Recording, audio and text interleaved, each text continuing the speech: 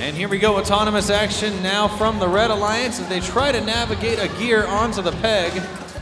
Looks like not going to be close enough for Code Purple, who has to back away and prepare for driver control. Blue Alliance was quick to get a gear in their first rotor, the main rotor turning up top. As Red answers with the free gear of their own, starting that play. We now have two minutes of time remaining with drivers under full control of these machines.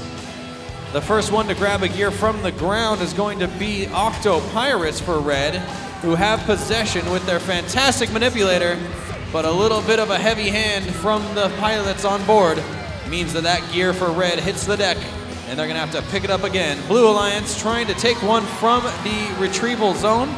This is the Illuminati lining up as their human player tries to enter a gear into play and it hits the slot. Beautiful shot for Blue. A few rogue shots of fuel flying through the air thanks to the soda bots. Blue Alliance machine trying to use fuel to bring this game back. It's tied up right now. Every point matters. And looks like the shots fall just short for the Blue Alliance. 54-95. Zipping back over to the retrieval zone for the Blue Alliance with one minute to play. They're on the hunt for yet another gear. Unfortunately, it's the Red Alliance machine Octo Pirates who have a gear that has gotten a bit wedged in their robot.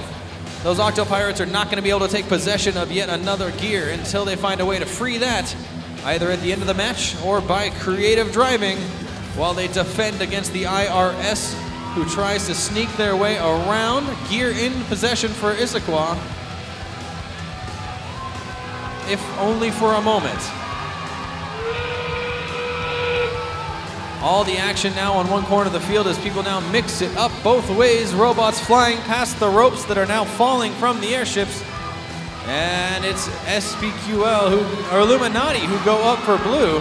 They trigger that quickly, make it look easy as the Red Alliance struggles to find their way to a rope. 58-27 lines up to climb, and it's quick. With time to burn, the Red Alliance pulls out the trifecta. No one thought they could pull it off, but it looks like Red Alliance Code Purple dropped off a gear and then pulled into position all in a matter of seconds when time was of the utmost essence. We're going to clean this mess up and we'll get you final scores. If you direct your attention to the displays, it came down to the wire on this one, and the Blue Alliance snuck out a win, ladies and gentlemen. Excellent work, and two points made the difference. Somebody give a high five to those Sodabot kids who put those fuel points on the board for Blue. That took it away as we move into match number 13 coming up